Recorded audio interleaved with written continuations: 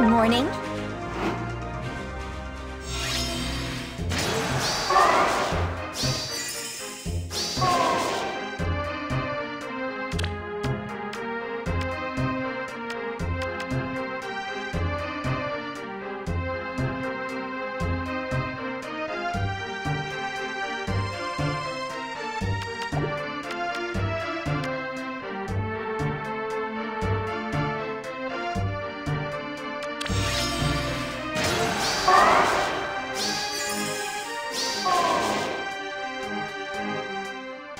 Who's next?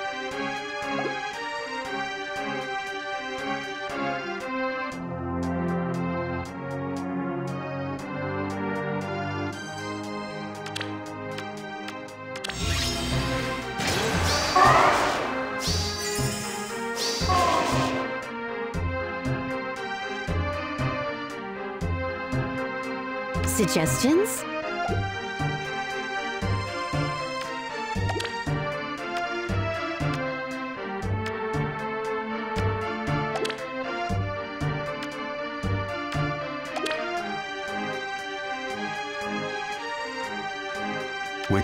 To take? Hmm. We mustn't get lost. This will be fun.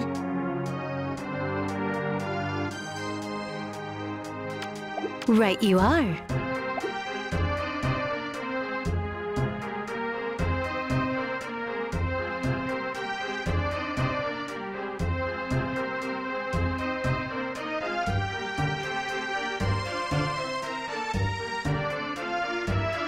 My way.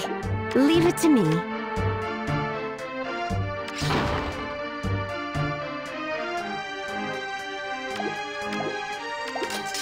I will deliver.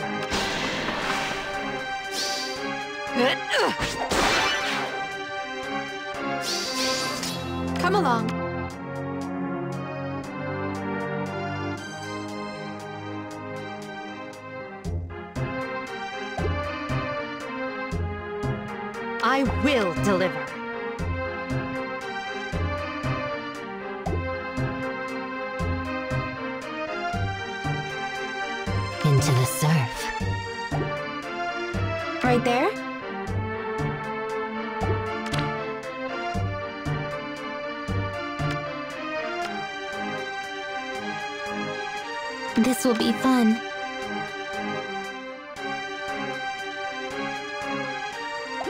I agree. On my way.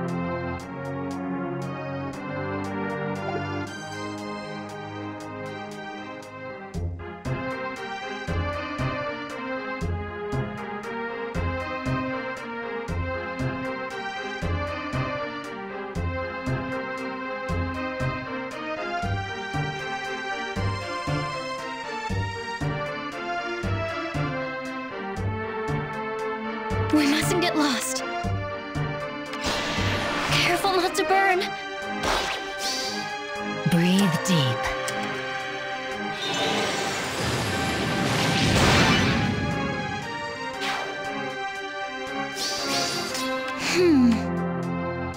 We mustn't get lost. Into the surf.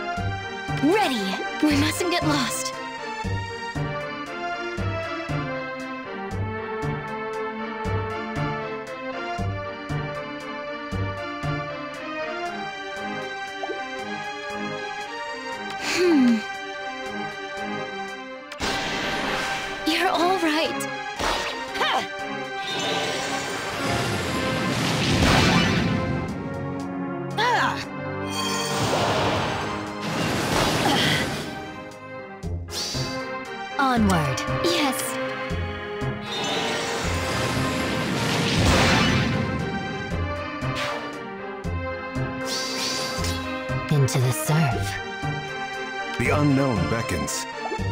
Who's next?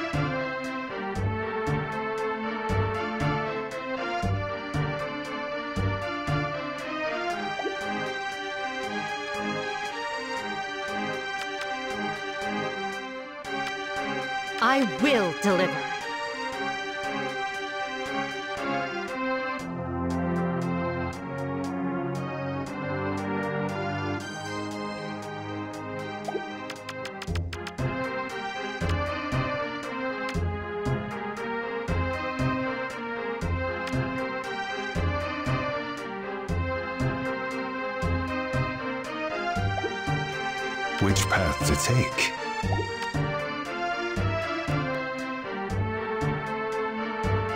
I agree.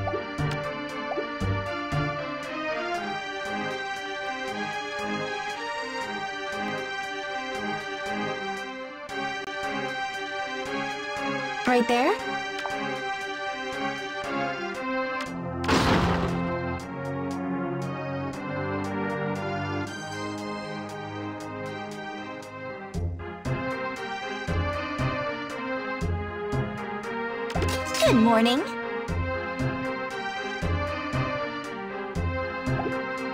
Maybe this way. Ready.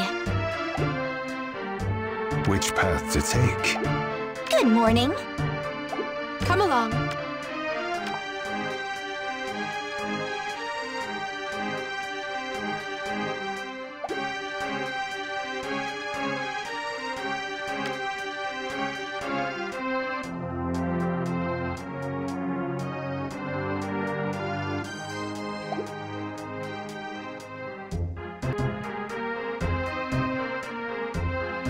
I will deliver.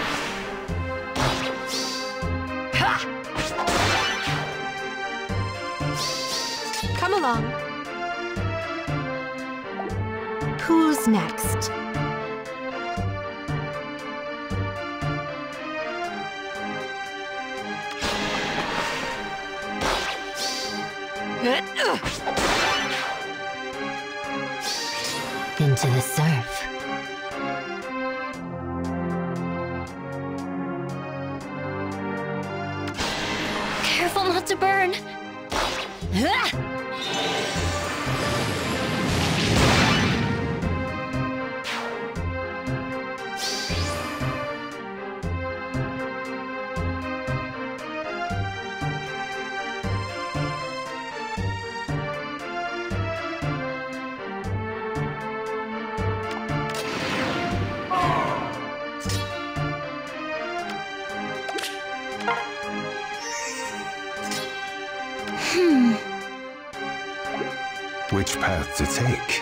Morning. We mustn't get lost. Into the surf. Hmm. Mm, Maybe this way. We mustn't get lost. Good morning. Into the surf. The unknown beckons.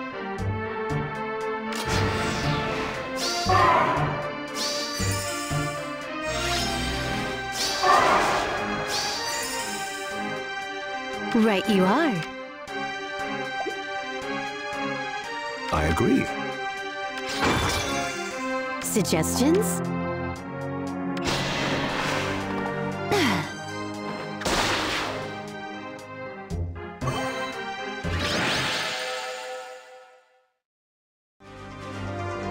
All right, here's our second match for the day. We're taking on a Japanese opponent here with Felix, and we're gonna go with the save ball. I was trying to get Askr on this team so I could score a little bit higher, but I feel like um, hmm, stone terrain is kind of necessary. So this is what it is.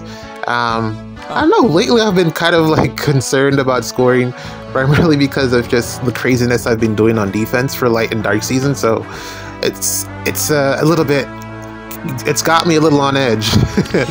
but let's see how this one pans out. Uh, we should be okay. We got uh, Shield Fighter. Um, yeah, as long as we uh, are able to take care of Felix, we should be good to go here. Um, a lot of like really interesting um, choices here, like the uh, uh, infantry pulse on um, Robin here to get Felix to where he needs to be is an interesting choice. Um, and then just look at this Felix, man. Man went all out. like, to be fair, I probably could have been like plus five myself. Like, if I didn't fodder all the copies that I got for, uh, I think this C skill, Endless Tempest, is fantastic actually. Especially on melee flyers, I think it's really, really good. So, that was one of the main pickups for me, and as well as the Excel. Um, but yeah, I really want, I really wanted to go back in on the banner to get some more copies of Endless Tempest because I think it's a really good skill. Flyers don't get access to lulls, so just being able to put that on there and get the extra movement, I think, is a great pickup. Um, and then we got all of the familiar um, options here. No one, literally no one, I don't believe, is going to be running Sothis uh, this season. I mean, even if you gave her High Dragon Wool, she's literally just such a detriment to your team. You Is might as well just run Brave Corrin, uh, Male Corrin, instead of wasting your fodder and giving it to Sothis. She's so bad. Uh, desperately needs a re-refine, in my opinion. Maybe if they gave her the Arcane Fellstone, um, um, that's actually an interesting choice. I wonder how she performs with the Arcane Fellstone. But yeah, that is um, a dud if I've ever seen one. Um, but yeah, we got to tank this. Um, priority here is to avoid the the uh, the Loki lane. Um, hmm.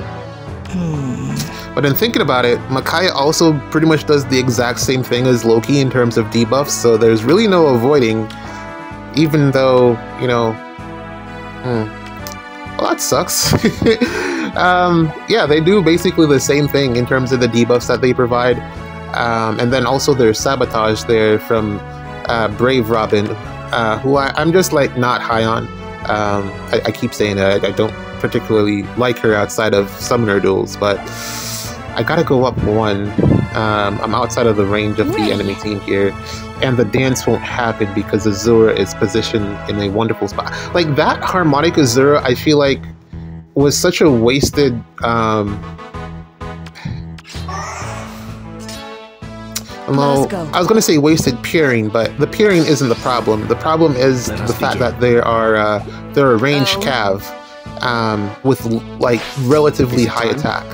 Uh, that's the problem with that harmonic Azura. They choose to attack instead of dance um, constantly, and there's really no like there's no way to, to unless you're going to unequip their weapon or just give them like the base weapon that that they have available the one that does like yeah. I, I, don't remember what it's called, but it was like one of the first ones, and it did like four. It had four might or something, but even then they would still attack. So I really didn't know how to solve that problem. So I ended up just benching them because they just kept attacking all the time, and it was so annoying. But Felix should be able to outspeed us here. I wouldn't be surprised if he does, but the shield fighter should trigger.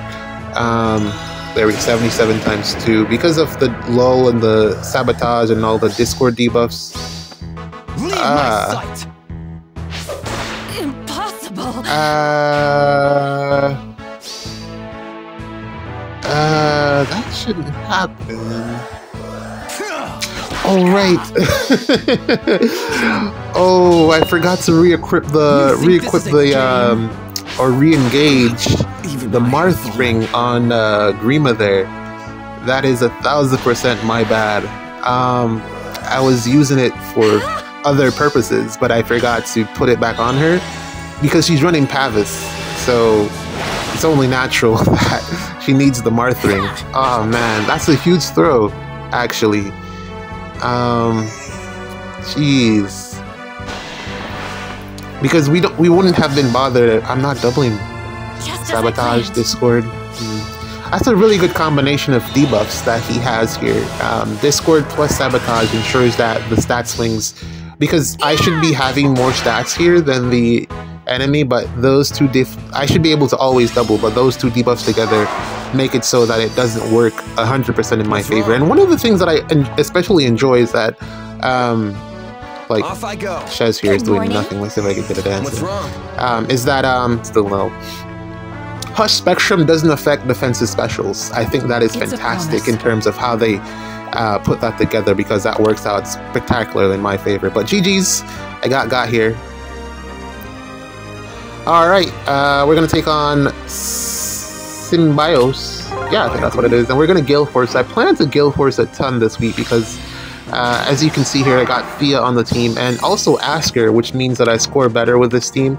Um, again, I, I'm kind of like this week in particular because the defense mythics are so bad. So I got to make sure that I get the most out of my score um, if possible.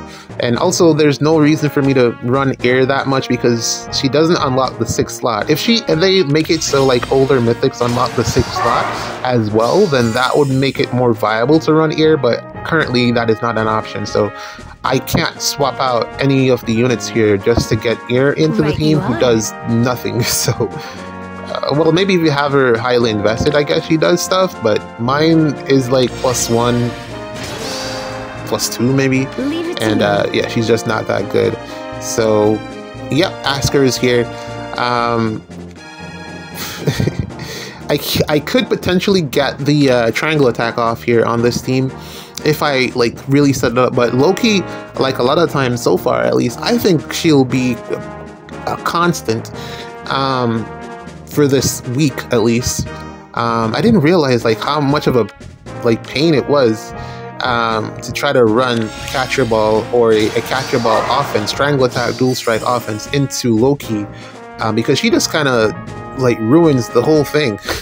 like that's one thing that I didn't think about, and I kind of feel like it's pretty decent counterbalance uh, in terms of it being an option like because that's totally where you need to go now in terms of like engaging into a lot of these bulky defenses with shield fighter um, the only other the only other alternative would have been to run um, gremlin um, I will deliver. Man, I forgot her name. but Gremlin, I I just keep remembering her as Gremlin. Yeah, but that would have been the only other option to negate the triangle attack effects. So I love the fact that Loki can actually just do that, which I completely just forgot about that she could, you know, remove that status effect. And the thing is, you're getting at least minimum three Which effects uh, from Catria, um, Come along. Catria, Cordelia, and this one. So it's typically gonna be like removed, uh, which is gonna make it kind of well. I guess with Cordelia, dual strike only requires two units, um, but the adjacency condition last? might be a bit of a problem. Whereas triangle You're attack is a little bit more flexible. So I guess with um, dual strike, you'll you'll probably be in a little bit of a better place because you only need two people to have it, whereas for a triangle attack you need three. So I guess that works out in your favor in that regards. But Loki's a really good tech option in terms of countering uh, that as a potential option for um, enemies breaking through your defense. So I didn't, I completely forgot that she could do that. So I think like she just gains value in that regard, or she, she well, she already had it, but she her value increases in that regard. So I really, really like that. Um, I'm trying to figure out how to i kind of want to pin Azura, but then also Right. I need. the thing about Wings of Mercy plays is that you need to take damage. Either that or you run Fury, and I really don't like Fury. Um, I, I dislike chip damage.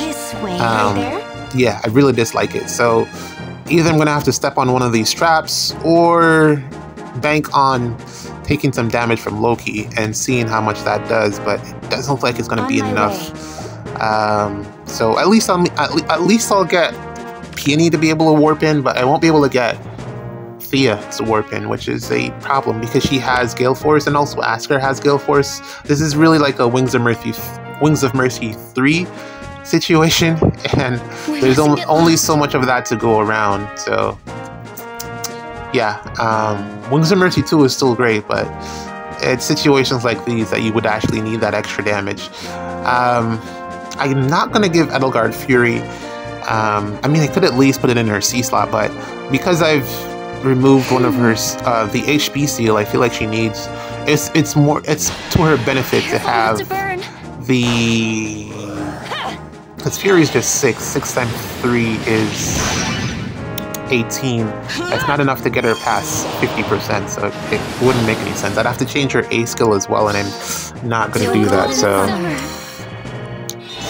Hmm. Giving resonance to Gullveig might actually be a smart idea, since I want to meet that condition for this specific um, week. Hmm. and I guess I can keep it around for the long run. I'd, I'll, I would already be in the Wings of Mercy range if I had done that. The problem is, is that sometimes, again, chip damage can backfire, and I get the flat 7 true damage from the Canto, but then also I rarely actually use the Canto for anything beneficial, so...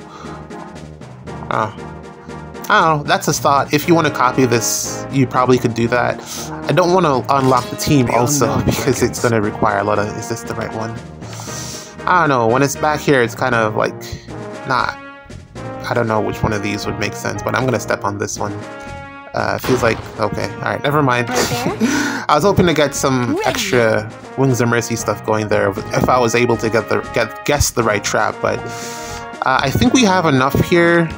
Oh, she's a duo, so I can't leave her. I have to take her out. Okay. All right, that's fine. I think we have enough here to clear the map. It's it's totally uh, okay. I, I have enough actions to clear this. Yeah. But yeah, fun. Resonance, if you want to copy this team, it's probably a good idea. Um, because it would give you that extra chip damage instead of going with... I guess Fury is cheaper, so... uh, I guess that is all, always going to be a play, but then you lose out on the Flame uh, flame terrain, which, again, also, since I have Winter Edelgard here, it might not be 100% necessary. I don't know, man. There's just so many options that and then also I want Gullveig to be able to take out Felix's, so... I don't know. But for now, this is what it is. Also, it's kind of crazy how Joel, I, I peeped it, I peeped it in Tacho's video. It's crazy how Joel was running a corner ball after he himself was like, I hate this defense type, this defense archetype. That's really crazy. Uh, big call out there for Joel being a little bit um, toxic. but I, I, don't blame him, man. It's it's a really powerful defense archetype currently, but I think after this week, everyone will ha already have it figured out. I already have it figured out in terms of how to get past it for both seasons. I don't even have to. Luckily, I don't even have to rebless any of my units to make it work. So lost. it's not that big of a deal. Right there. Um, and also that banner that they dropped recently with the uh, the imitation double special heroes, it literally gave you some of the tools that you would be able to use to get through uh, at least from melee range, right, um, that defensive archetype. One of the things that I was considering was giving Brash Assault 4 to um, Brave Violet to see if she could improve her matchups against Fjorm.